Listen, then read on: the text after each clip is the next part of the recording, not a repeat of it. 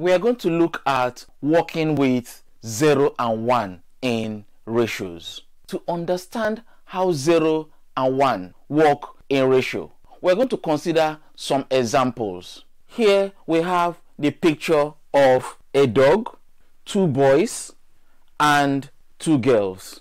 Here we have two boys to ratio of two girls to the ratio of one dog. And this ratio is a part to part ratio. For a part to whole ratio, we are going to count the number of the population. Here we have 1, 2, 3, 4, and 5. For the boys, part to whole is going to be 2 to ratio 5. And for the girls, it will be 2 to ratio 5. And for the dog, it's going to be 1 to ratio 5. This is a representation of part to whole. And this is 2 to ratio 5. And this is also 2 to ratio 5. While for the dog, this is 1 to ratio 5. In any given ratio, you are either dealing with part to part or part to whole. Next, let's consider this example.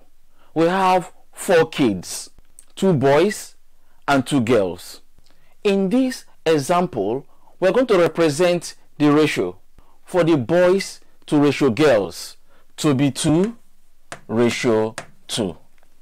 And this is part to part.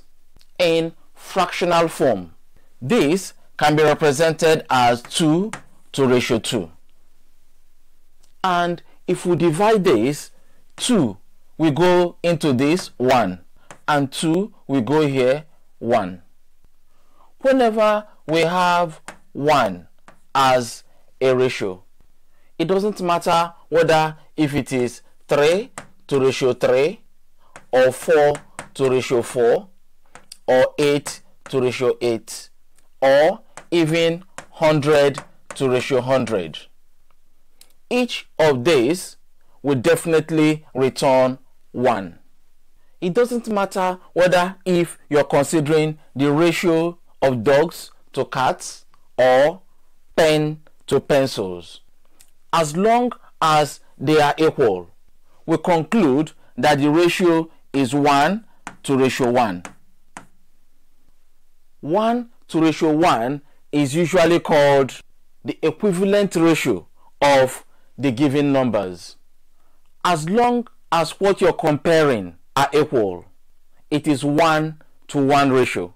For the complete video course on this subject, click the link in the description or in the pinned comment section.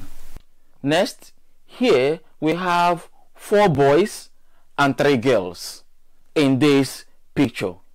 If we consider part to part, the boys is 4 to ratio 3. For boys to ratio girls. And for girls to ratio boys, is going to be 3 to ratio 4. You must respect the name that comes first. We can equally write this as 4 to ratio 3 and we can write this as 3 to ratio 4 when we are considering part to part. But for part to whole, the total number is 4 plus 3 which is 7. The boys are 4. Here is going to be 4 to ratio 7.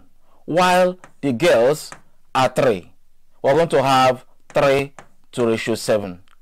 Or this is 4 to ratio 7. And this is 3 to ratio 7. When we are considering parts to whole, the analysis of part to part and part to whole are slightly different. Now that you can recall part to part and part to whole. Also, you know we can generate 1 in a ratio. And when any of these happens, we say we have a 1 to 1 ratio. In this example, we're going to consider 18 kids. And here we have 17 boys and only one girl. And we can represent the ratio in the boys to ratio girl will be 17 to 1 which is same as 17 over 1 and when you have 17 over 1 this can be just only 17 when we are dealing with part to part.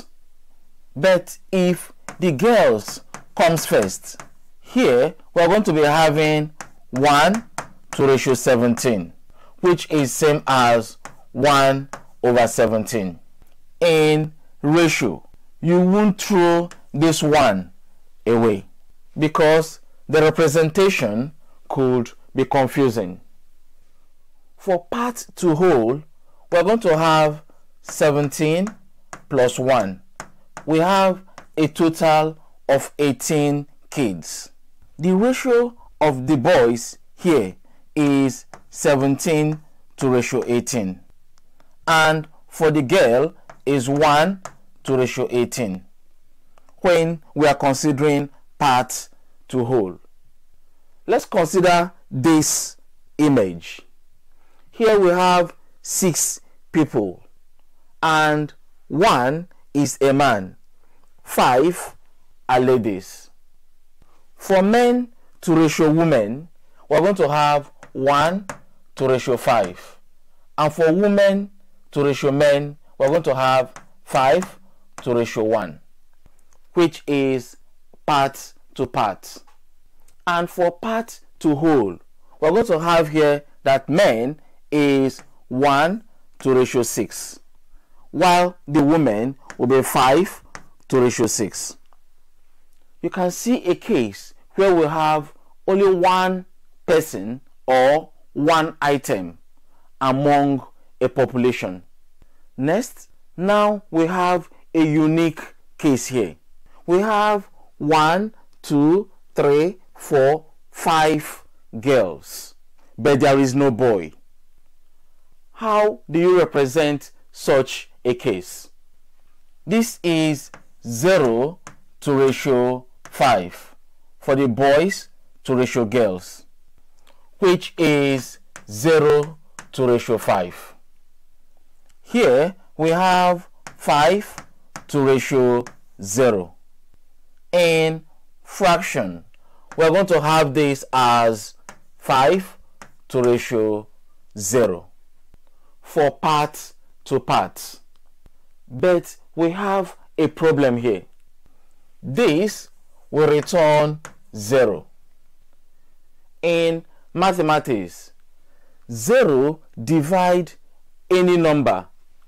Will return 0 also in mathematics 0 is not allowed to be at the denominator of any number.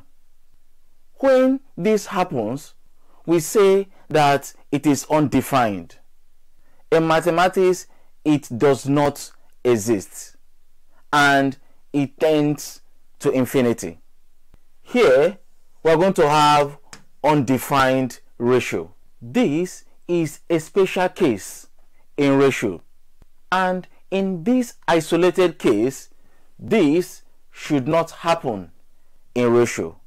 Also, this should not happen in ratio. We can only represent this ratio in this form also in this form, but never in fractional form. Whenever one of the comparing ratios is not available, we can find this type of ratio in a girl's school. Likewise, in a boys' school, where only boys attend. We can also apply ratio when comparing different fruits. when comparing different colors of pencils, when finances are involved, and money have to be shared in some certain ratios, even when comparing cats and dogs and other animals, like taking the ratio of dogs to cats in a certain street, or when taking the ratio of some certain colors. I believe this was helpful. You have learned how to work with 1 and 0 in ratio. If you find this video helpful, please click the like button. Also, subscribe for more videos like this. I will see you in the next video.